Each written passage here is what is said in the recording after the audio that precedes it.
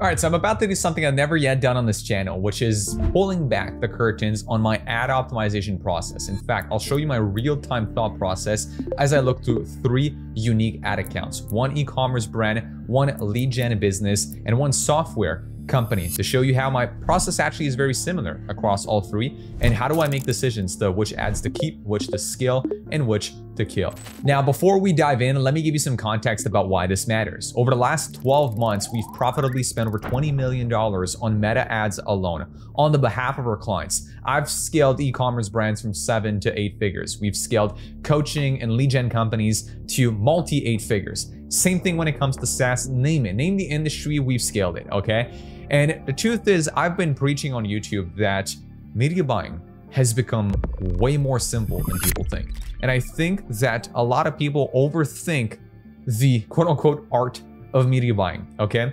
Now, I want to talk about the U curve very quickly of what media buying looks like, okay?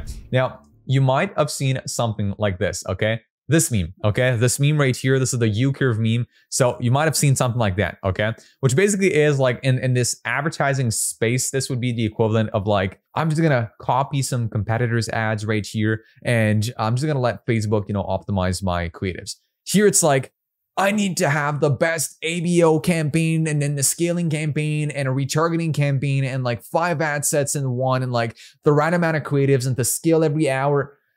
And then you have like anybody who actually knows what they're doing will tell you just focus on creatives and simplify your media buying. Okay. But that is not extremely actionable. Like, what do you actually do when you've launched your ads? What do you actually focus on? And that's more specific what I want to focus on today. Okay. So let me take up this ad account first. And this video, by the way, shout out to our ad engine customers, okay, and students that we've been working with now have been asking a lot of questions about, you know, how do we optimize? How do we do it? So there's been like Alex right here, uh, which is running like a coaching company. And there's also Gonzalo right here, which was asking pretty much the same thing with his business right there. And so after showing them on one of our weekly calls, I decided, let me just show you on YouTube, okay? So right here, I am to start with this account, which this one is to be a lead gen account from a coaching company, okay? What I usually do is every day you can look at on a last seven day basis. Okay. So every single day you open up the account and you look on the last seven day basis. Now, you'll always want to find the hierarchy of metrics in the account. So this being a lead gen company, what I'll usually look for is something like this. I'll go CAC first. Then I'll look for, let me just try to put it right there, CAC. Then it's going to be cost per booked call. And then they're going to go cost per lead. Okay. So I'm going to prioritize to look into my campaigns by customer acquisition cost first, then by cost per book call, then by cost per lead. So if I'm on this account, let me just go back right here. Right there. Okay. So last seven days, if I look into my cost per purchase, so I'm going to filter by this. So which campaign actually has the lower cost per purchase for whatever reason the filtering is wrong, but it would technically be this one right here. I'm not really going to count this one because we haven't spent that much money on it right now. And we've in fact killed it very recently. Okay. So $1,600 in cost per purchase. I'm like, okay, this is the healthiest campaign when it comes to CPA. I'm going to open up at the ad set level. What I always do on my side is we have one ad set per creative concept. Okay, so like one ad set here, if I open it up, I usually have my three creative variables. They're all like a hook variation of the same ad. Okay, so just a small tweak in the ad. That way, we lean into what is now working with Andromeda, which is they want creative that differentiation and creative volume. So here we have a lot of different ad sets, each with like completely different creative concepts, and each of which has three variations. So we have volume and differentiation by doing a structure like this one. So what I'm going to go here is I'm usually going to filter by amount spent, okay? Because this gives you like statistical relevance. And then you're going to look into like what our CPA actually is on those ads. So, okay, like this top one as an example, right? My media buyer just killed it over the last few days. And that makes sense because if I look at it over a last seven day basis, our CAC was pretty high. For this client to be in a healthy spot, we need to have a CAC of about a thousand, a thousand five hundred dollars, honestly, for it to be like really dialed in. So the second ad right here is now starting to get a little more spend allocated to it. And as you can see, four purchases for an $800 CAC makes a whole lot of sense. Now, why do I look into CAC first? The reason I look into it is because if I had looked into cost per appointment as an example, I would have been like, oh man, I got to kill this ad right now, right? Because the cost per appointment is way higher on this ad than this one. But the truth is, those appointments might actually be way more qualified than these ones. Okay. So therefore, it makes sense for us to look into CAC first. So, okay. Now, second thing I'm, I'm going to look into, and this is like a good example right here. So if I look into this one, okay, this one, first of all, is starting to span a little more. It's, I think, still early. We launched it very recently. Okay. Usually, what I'm going to do, and I'm going to open this one up just to show you and see the history on this one. Okay. Now, one of the reasons I started speaking about lead gen as the first ad account is because honestly, lead gen is a lot is less linear than e-commerce or SaaS is because there's like a lot more steps in the funnel, and you got to use a little more of your good judgment. Because when you look into like CPA in this case, which is CAC, which is like our closed deals, they're very expensive. Okay, so like it's not. This is a high ticket coaching product. It's like five to ten thousand dollars. So it takes a while before we start seeing events. Our ads, in fact, for this client, we're actually optimizing for appointments because we get more appointment volume than we are of purchases. Okay. So in this case, that's why we don't optimize for it.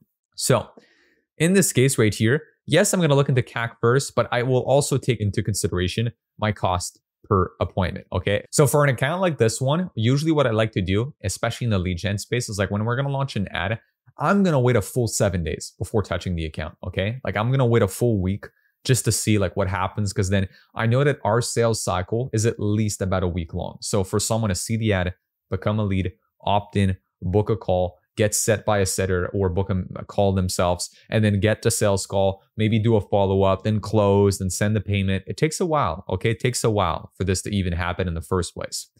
So I need to wait a full seven days. Okay. So we're usually going to try to wait for our ads to spend, honestly, like at least, at the very least, like two times our average CPA, if not more. So our cost per appointment in this case, before we take action. Like take a look at this ad, okay? These two ads right here that we killed, they were getting a decent cost per appointment. They were getting like a decent cost per lead. But if I look, say, over the last 30 days and I show you these two right here, CAC was getting like really high, like 3.3K on this one. And this one at the bottom, it spent like a full 1.8K and hasn't even gotten a single purchase in this case. So like, okay, our front end metrics like appointments look great, leads look great, but it wasn't getting any sales, which means the leads or the appointments weren't as qualified from those ads. So eventually we had to kill them, even though cost per lead and cost per appointment looked well. So my rule of thumb for an account like this one is basically whenever we launch a new ad, we're going to give it a full seven days. We're going to have it spend at least twice its cost per appointment. And then the first thing I'm going to look at is like, it's did it actually get me any appointments or not? So like, take a look at this ad as an example that we just launched. There's a few more that we like launched not too too long ago. This ad right here is an example. Like, it's getting a okay cost per lead compared to the other ads, right?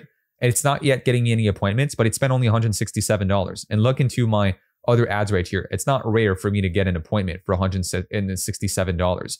So would it be safe for me to come here and just kill this ad and say, well, it's not working? No, not yet. Cause like it hasn't really spent what I usually get for an appointment.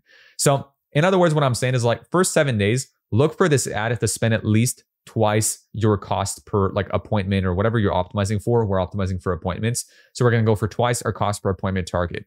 Look into whether or not cost per lead and cost per appointment or at least somewhat within the ballpark of the account.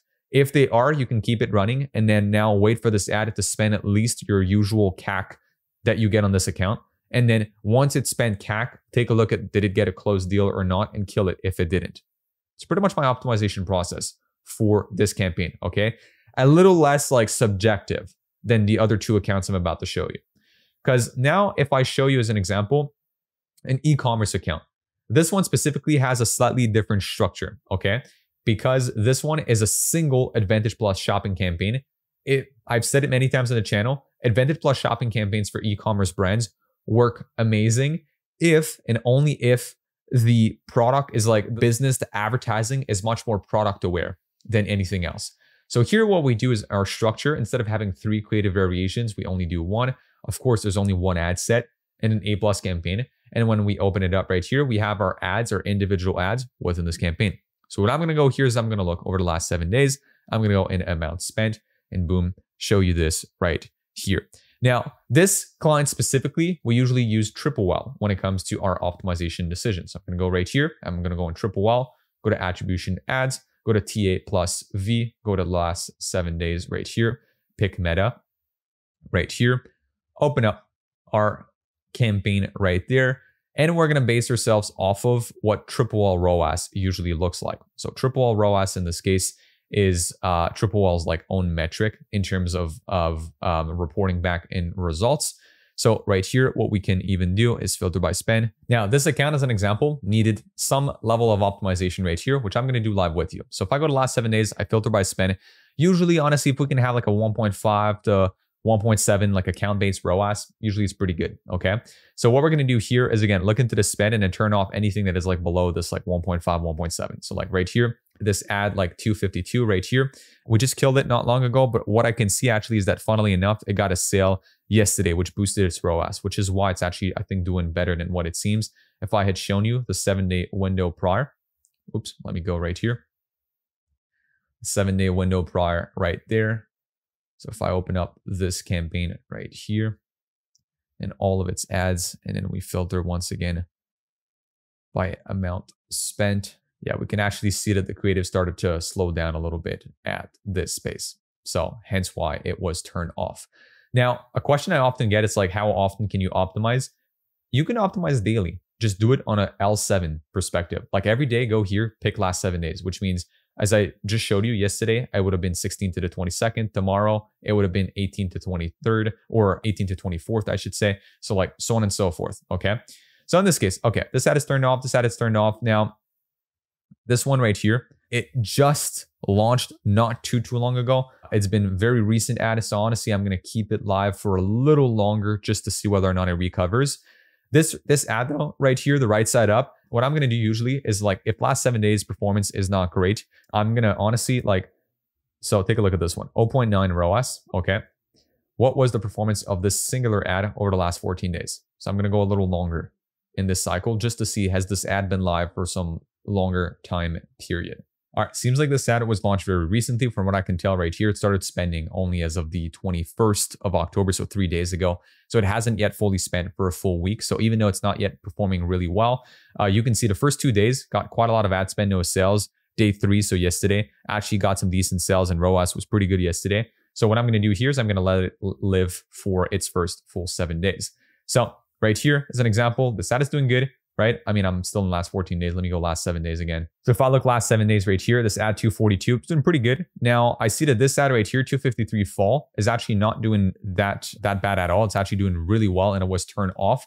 I'm going to open it up and see kind of why. There you go. You can see, and this often happens. Sometimes you'll turn off an ad and then out of the blue, it just gets like crazy attribution from it. So then here, what I would do right there is just go back and turn this back on right here, which I'm actually going to notify my media buyer of this right now. So he can do this because I don't want to mess up his optimization workflow. But nonetheless, turn this back on right here because we've had like late attribution yesterday. It's very simple for an ecom brand, very straightforward for an ecom brand. It's like L7, is it profitable? Is it not? If it's not, then I look into last 14 days. So if last 14 days was, as an example, good, and this is the rule of thumb right here that I shared with our client, which what I would do, it's like I always look at last seven days every single day. Okay. So basically, if you look at ads manager on Wednesday for L7, you look at Thursday to Tuesday. Okay. And then what you do is from there, if the ad has been longer live, so you look last 14 days. If last 14 days is looking good overall, which therefore means that if L7 was bad and L14 is good, it means the seven day prior was good. I'm probably going to let it live for another seven days. And so then by then I'll be able to look at has it recovered or not. Sometimes, you know, especially if it was a winner before, it might need a little more time and it'll recover. If it's a brand new ad and like last seven days is not looking good at all, then I'm just to kill it. I'm not to let it longer than a full seven days. Okay. And if it's an ad that has been turned off, as an example, and last seven days looks good, like this one right here, happens a lot with late attribution, then we're just to turn it back on in this case. So very simple, like three step rule for ecom brand. And now you're going to see, I mean, I could have skipped this one, but honestly, I'm going to show it because I always get questions in the comments like, well, what about my business type? For SaaS, it's the same thing. Okay. Like in this case, this is it's a SaaS company, but it's optimizing like the purchase trigger is basically just somebody starting a free trial on the SaaS business. So like right here, it's the same thing. You look last seven days. In this case, if we're at like like 170 euros, give or take, we're doing pretty okay. We want to get like the actual true objective of this account is to get closer to 100 euros, but like historically it's been 170, 180 euros, give or take for an account like this one. So like again, you go last seven days, you go here, open up the ad sets, This one is again our typical account structure. So we have like one ad set with our three creative variables under it. So I go back right here, go L7, go by amount spent right here. Then we're going to look essentially, was this profitable or not? Yes, keep it. Okay, these two as an example, they spent quite a bit of money. They spent at least two times their CPA target. They're not really doing good, so we kill them. Now, this one is an example right here. Let's take a look. When was it launched? October 17th right here. It is not getting us anything, so I'm literally just going to kill this one right here live with you right here. Now, DCT42 is an example right here. Same thing. It was just launched. It's not getting anything so far, so I'm going to kill that one too right here. Perfect. And then now we're left with basically these two ads right here, which were just launched. So we're going to give them a little more time because I killed those two. I can almost guarantee you that ad spend is now going to get reallocated to these two. So anyways, you get the gist, right? And I could do the same thing now into the prospecting, say US campaign right here. So I go look last seven days. All right. How's everything looking like right here? Well, this one is an example 300 euro CPA, so not doing good at all. So this one, when was it launched? October 9th, so 15 days ago. So it's not looking well. What I'm going to then do is I'm going to look last 14 days just to see if it was doing good before. It actually was. So you know what? I'm going to let this live a little longer. In this case, since last 14 days was actually doing not too bad. So let this one live a little longer. Same thing here, DCT36, live for some time. Okay, last 14 days. Is it doing good? I mean, 200 euros CPA here last seven days, like 147. So, I mean, not really doing okay last seven days. So I'm going to keep it live just a little longer. DCT 44 right here, same thing launched about two weeks ago. Last 14 days, barely getting any ad spend. Last seven days, barely getting any ad spend either. Since it's not spending much so far and it hasn't spent my CPA target yet, what I'm going to do is I'm actually going to let this live here because it's barely spending. So I don't yet know and can consistently say like, yes, this has been a loser. That's it. It's literally how I optimize my ads. Last thing I do, and I haven't done in this video yet, which applies to every single campaigns that I've showed you because they're all CBOs, what I would do right here is I would go, okay, do I scale or not my CBO budget? Last seven day, is my CBO above or below my target? So here, if we claim as an example that 150 euros, give or take, is our target, and you go right here, you would go, okay, yes, it is good last seven days. So what I can do is I can scale by 20%. So I'd go campaign budget, go here, take this amount. I'm to go this. Then I'm to go plus 20%. So 570, perfect. I come back here, put 570.78, publish. There you go. Scale this campaign by 20%. Okay. So that being said, this is how I optimize ads nowadays. Fairly simple in terms of ad optimization process. Hence why I always say on the channel, media buying is not as complex as it used to. As long as you do it this, you know, say for one account, if I do a daily checkups, maybe five to 10 minutes, if I do a checkup across all the accounts we have, then that's where it takes a few hours because we have, you know, dozens of accounts now at this point. And hence why I also prone a very simple account structure because the simpler the account structure, usually, I mean, the better we've seen the performance, first of all, but also the less time it takes for you to media buy and the more time you have to allocate to creatives which becomes again the stronger leverage point if you want in the account. If you made it all the way through this video and you want to work one-on-one with me and my team to have us review your paid ads, offers, funnels, name it, and help you implement AI into your ad processes, check out the link below and join my ad engine inner circle today. And with that said, if you'd rather us do it all for you, produce all your creatives, optimize your ads, help you out with your offer funnels, etc., then also check the description below and join our agency today. So with that being said, I'll invite you to check out other videos on the channel for some more useful marketing tips and I'll see you in the next one. Peace.